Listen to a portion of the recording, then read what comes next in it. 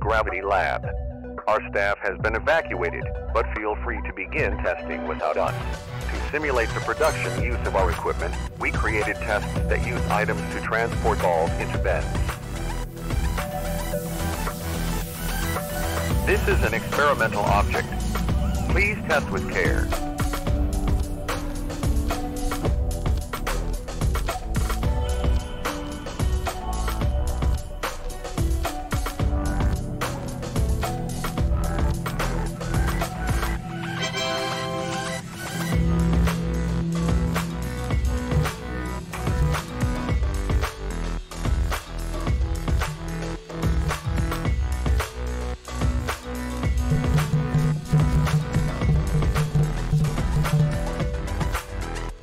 Our scientists are 80% certain this test scenario cannot be solved.